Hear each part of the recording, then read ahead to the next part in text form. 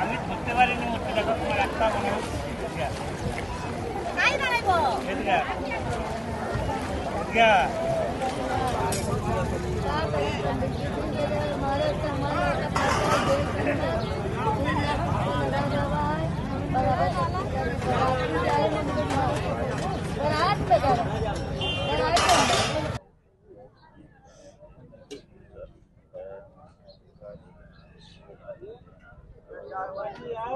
शरद पूर्णिमा का पर्व है और शरद पूर्णिमा में विशेष महत्व रहता है और आज पूर्णिमा की वजह से स्नान के लिए लोग आ रहे हैं, स्नान करते हैं, दान पुण्य करते हैं और पूजन अर्चन करते हैं और इसका विशेष महत्व है आज के स्नान का।